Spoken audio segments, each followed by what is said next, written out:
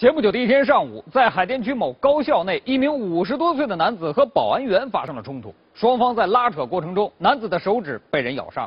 男子说，这件事的起因是由于四块钱的停车费引发的。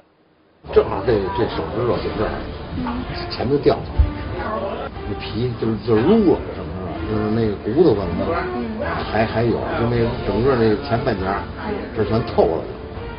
二零一三年六月十八日下午六点，记者在积水潭医院见到了张先生。此时他刚刚做完清创手术，躺在病床上休息。医生说，张先生断掉的手指已经无法再接上，只能从身体其他地方植皮。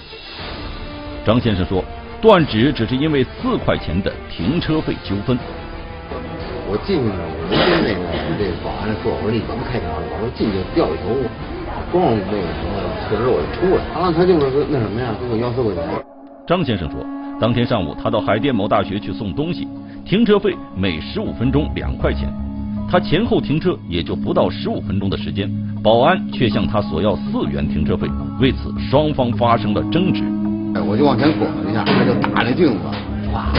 这后来我一看，我也有点那什么了。哎，这么着，我就出去，推下来了，正好搁嘴里头，他咔一口就掉了。随后，张先生被送到了医院。那么，当时究竟发生了什么？又是否像张先生所说呢？记者来到了事发地，核实此事。